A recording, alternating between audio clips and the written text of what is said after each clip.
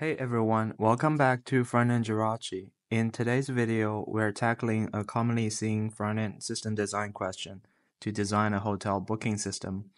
We'll start with functional and non-functional requirements, discuss the overall design of the system and how data flows through the system. Then we'll come up with specific APIs for hotel onboarding service, the search service, and the booking service. We'll then talk about the data schema and get into some tips and tricks for front-end optimizations.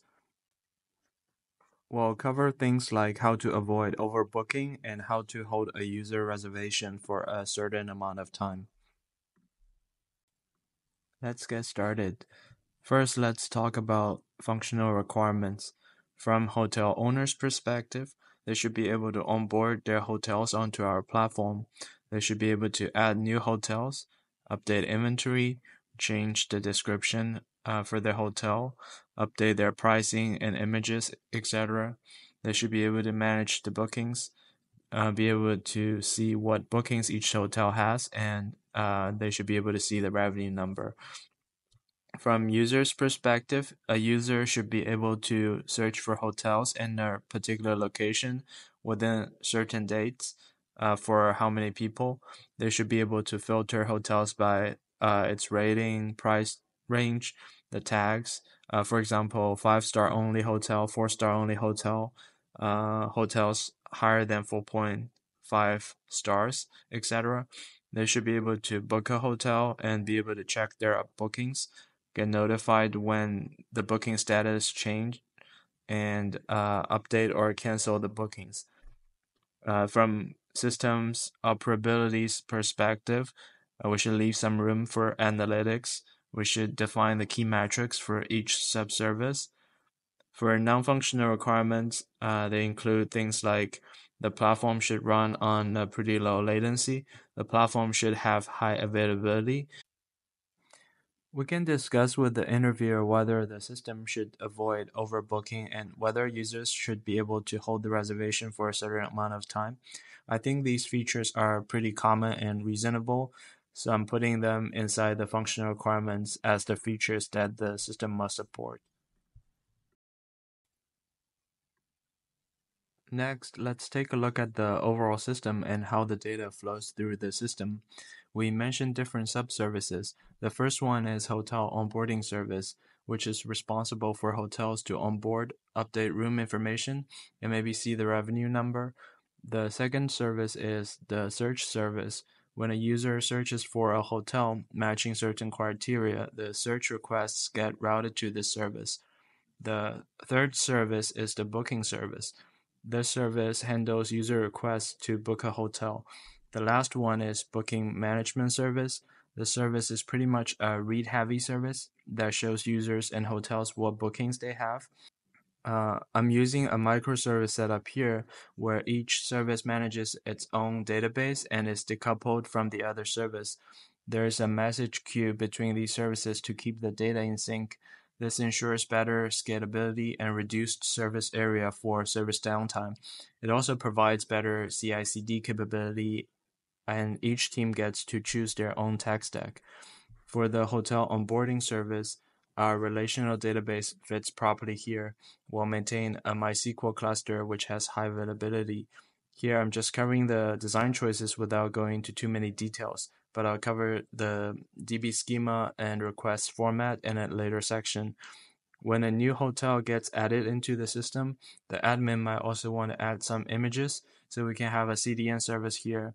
Uh, the CDN link to the image would be added to the DB along with other information. When a user searches for a hotel, we'll be able to load images directly from the CDN, and this provides a faster user experience and uh, better availability. For the search service, we're using we're going to use an Elasticsearch here to provide fuzzy search capability. Uh, so for example, if a user has a typo in their search query, we can still try to provide matching results. The data for the Elasticsearch store is provided by the first MySQL database, and they're kept in sync by this message queue.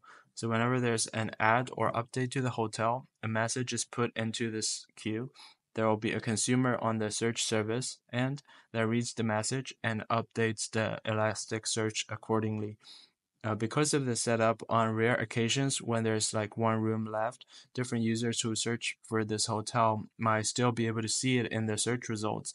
But I think this is probably fine as long as we make sure only one of them succeeds during the checkout and the others fail with the reasonable error message. Uh, for the booking service, I'm going to maintain a separate MySQL database cluster here. Uh, there will be a payment service, either in-house or third-party that the booking service will talk to. One thing to call out here is if we want to support the feature that a user can hold a room for let's say 15 minutes before he finishes the payment, in this case we'll use this MySQL cluster to only handle the bookings that are active meaning they're not in like a terminal state because the load would not be too big in this case. So I think this um, MySQL cluster can easily handle it. And once the user pays for the reservation or cancels it, then we can move the booking into that terminal state. We can handle this in a separate service. Um,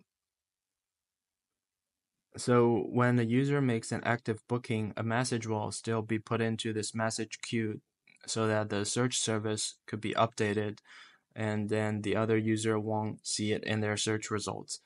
Uh, once the booking is moved to a terminal state, the service can move this data into a NoSQL data store like DynamoDB or Apache Cassandra for cheaper reads and better scalability. That's why I have this um, separate data store right here. For the booking management service, this is the service that handles read requests from consumers and hotels. They'll read from this active booking DB for any ongoing bookings and from the NoSQL data store for the archived bookings.